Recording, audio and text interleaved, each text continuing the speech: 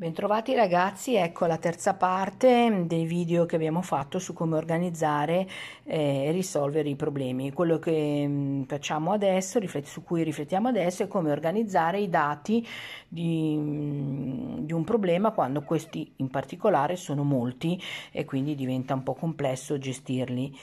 Quindi quando si hanno tanti dati a disposizione per reggere e organizzarlo diventa necessario ricorrere ad un aiuto che viene dato dalle tabelle, dall'uso delle tabelle e dei grafici.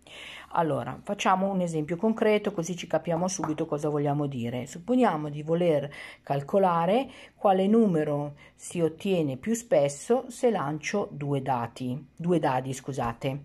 Allora, prima di tutto è necessario capire che ogni dado può dare come risultato un numero che va da 1 a 6 e poi dobbiamo anche tenere conto che eh, quello che noi dobbiamo fare è che da- eh, capire che i dati sono due e che quindi eh, dobbiamo mettere insieme tutte le possibili ehm, somme che questi, il lancio dei due dati possono procurare. Allora facciamo ordine. Io ho iniziato col preparare una tabella di questo tipo eh, in alto ho messo il primo dado con tutte le possibili le sue facce, quindi 1, 2, 3, 4, 5, 6.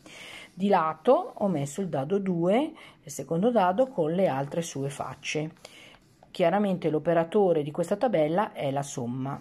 Quindi si deve iniziare con una certa calma a completare la tabella eseguendo le addizioni. Quindi 1 più 1 fa 2, 1 più 2 fa 3, 1 più 3 fa 4, 1 più 4 fa 5, 1 più 5 fa 6, 1 più 6 fa 7.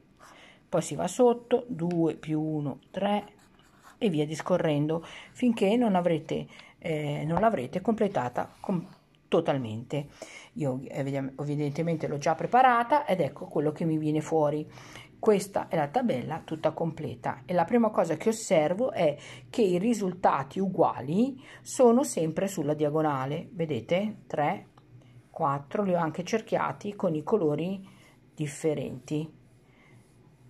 C'è solo un valore che esce una volta, che è il 2, che è dato dalla somma 1 più 1, e il 12 che è dato dalla somma di 6 più 6. Gli altri escono da due volte fino al 7 che è evidentemente il numero che esce con maggiore frequenza perché eh, è quello disposto tra l'altro anche sulla diagonale più lunga ehm, sulla diagonale del quadrato il problema è risolto, però io posso anche utilizzare degli altri strumenti per eh, spiegare meglio e rendere più chiaro il, um, questi risultati che ho ottenuto.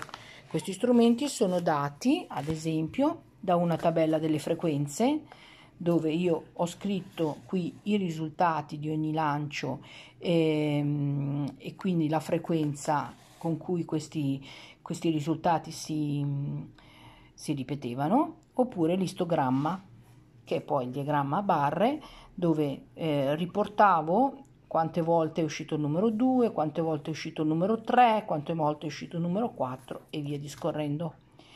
Eh, vi lascio eh, un esempio, un, un, lavoro che dovete fare voi, che è un po' complesso, per cui per un pezzettino vi ho anche accompagnato. Il problema è questo qua. Paolo e Anna hanno alcune carte a testa, tutte più piccole, cioè minori di 10. Anna ha solo carte pari, Paolo ha solo carte dispari. Se estraggono contemporaneamente una carta, quante volte la loro somma sarà un multiplo di 3? Allora, vi ho detto che vi dà un aiutino e allora ecco che l'ho preparato. Prima di tutto bisogna capire che le carte sono 1, 2, 3 e arrivano al massimo a 9. Anna ha solo carte pari, quindi non ha tutte queste carte, ha solo le carte pari. Ricordatevi cosa significa e quali sono soprattutto i numeri pari.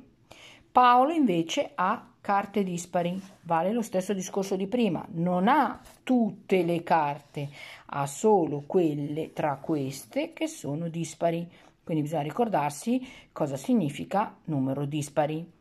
E poi chiede l'esercizio di ricordarsi quali sono i multipli di 3. Chiaro? Poi dovete realizzare, come ho fatto io prima, una tabella. È un quadrato, vedete, più o meno. L'operatore è più. Qui metterò le carte di Anna.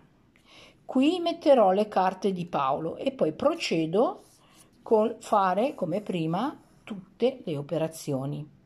Quando ho completato la tabella, cerchio i numeri che, conte- che sono multipli di 3, anche se si ripetono, e avrò eh, il numero delle volte in cui facendo questo giochino Carl, eh, Anna e, Carlo, e Paolo estrarranno carte multipli di 3. Buon lavoro!